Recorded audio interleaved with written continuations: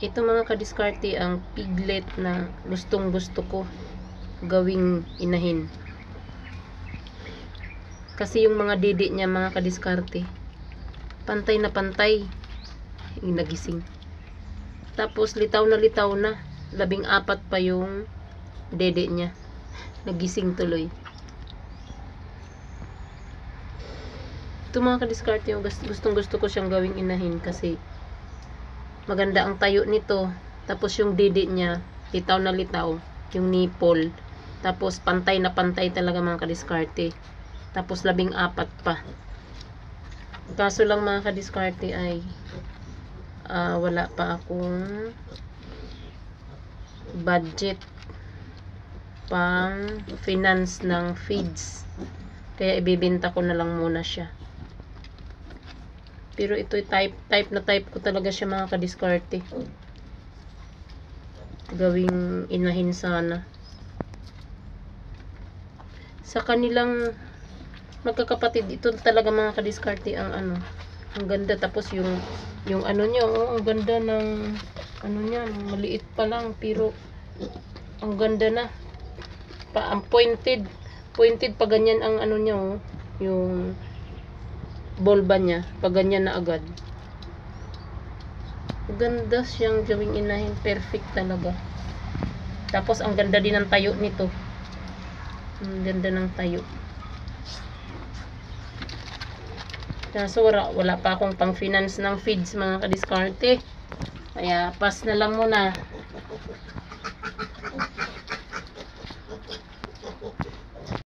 Ito na nga mga kadiskarte, no, nagpabili tayo sa aking pamangkin ng pagkain ng piglet. So, ang gamit kong feeds ay, yun nga, pilmiko. Ah, dahil biik pa sila, 17 days old since birth, ito yung ipapakain natin, no, pilmiko elite. Sprinter. So, ito mga kadiskarte. Dahil mga kadiskarte, nakitaan ko ang aking mga piglet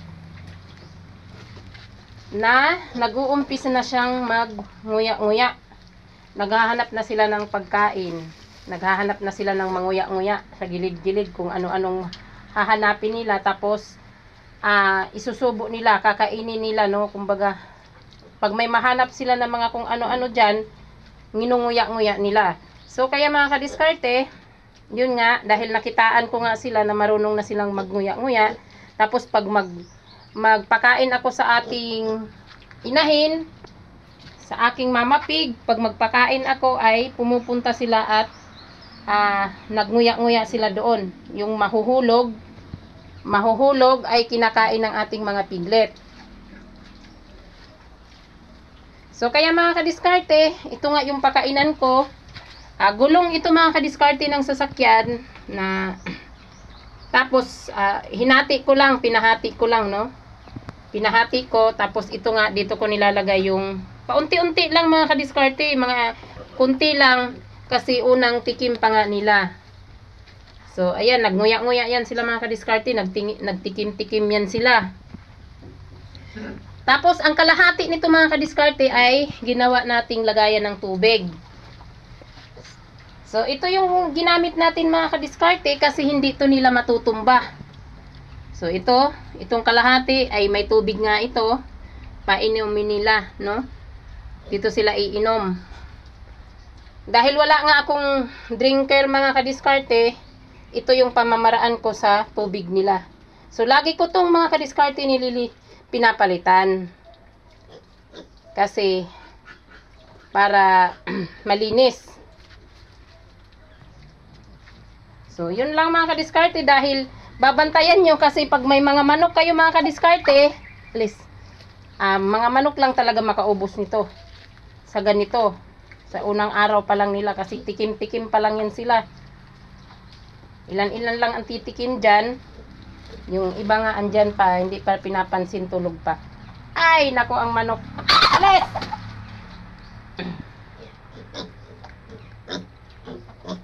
So, yan. Nagtikim-tikim pa lang sila mga kadiskarte.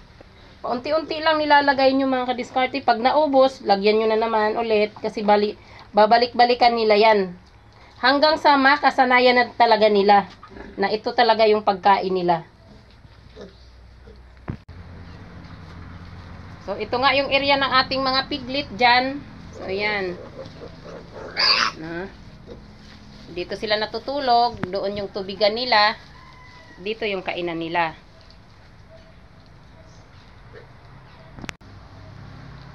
So, ayun na nga mga kadiskarte. May nagtanong sa akin na isang subscriber kung kailan daw ba ako magpapainom ng tubig sa mga piglet. So, yun nga mga kadiskarte, sa pamamaraan ko dahil wala nga akong drinker, magpapainom ako ng tubig sa kanila kung sila ay nag-uumpisa ng kumain. Katulad niyan, naglalagay na ako ng pagkain dyan. Doon naman sa kabila, naglalagay na ako ng tubig.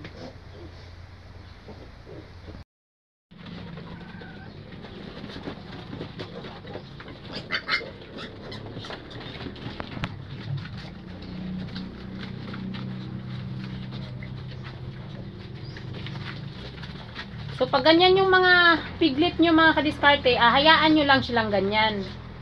Kasi kung baga, sa tao ay naglalaro lang yan sila. nag exercise lang. Hayaan nyo lang sila. Kasi minsan, ang nanay din, sinasaway din yan ng nanay. Ng mama pig, sinasaway din yan.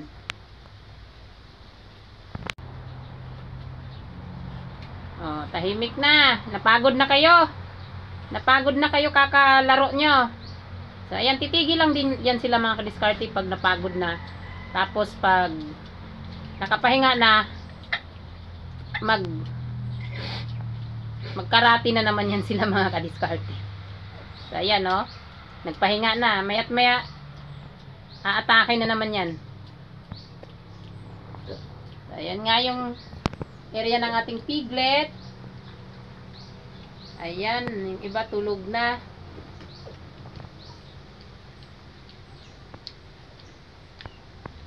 Seventeen days old nila ngayon mga kadiskarte. Atake na naman. Toing. So, hayaan nyo lang yung ganyan mga kadiskarte kasi part lang talaga yan ng mga piglet. Para tumibay din yung mga buto nila.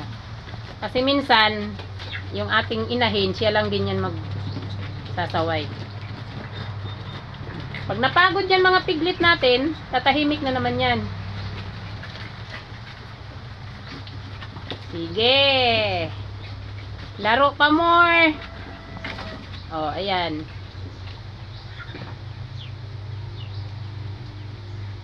Ayan. Sige. Nanahimik na. Kasi sinaway na ng nanay. Atake na naman. Oh, ayan na naman. Ayan na, ayan na. Ayan na. Sasawayin lang yan ng, ni Mama Pig. Sige. Karate Kid. Sige. So, ganyan talaga yung mga kadiscarded mag mga piglet. Ganyan yung trabaho nila. So, ayan, yung isa napagod na. Pumunta na doon sa kabila. Ayun na. Uy, may manok pala doon.